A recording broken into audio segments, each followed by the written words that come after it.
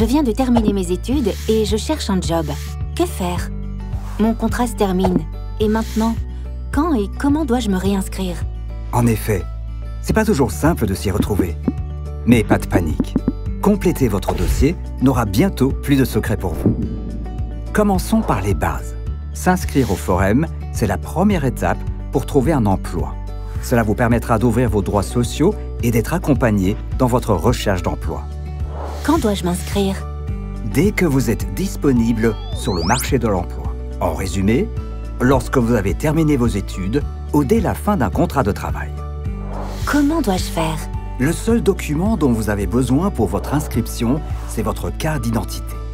Plutôt simple, pas vrai? Que ce soit en ligne, dans nos bureaux ou par téléphone. Nous avons pensé à tout pour vous faciliter la tâche.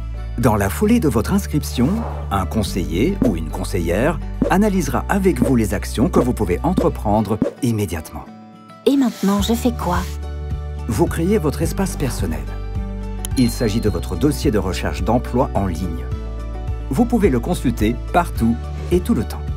Il regroupe une série de services qui vous permettront de mener à bien votre recherche d'emploi. Vous y retrouverez votre profil professionnel, vos documents et attestations, ou encore vos offres d'emploi favorites. Une fois que vous avez activé votre espace personnel, complétez et publiez votre profil en ligne pour augmenter vos chances d'être repéré par un employeur. Votre profil vous permettra de générer un CV de qualité immédiatement visible et de recevoir des offres qui vous correspondent.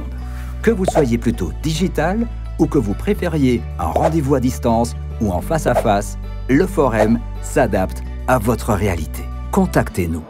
Le Forum, c'est votre partenaire pour l'emploi.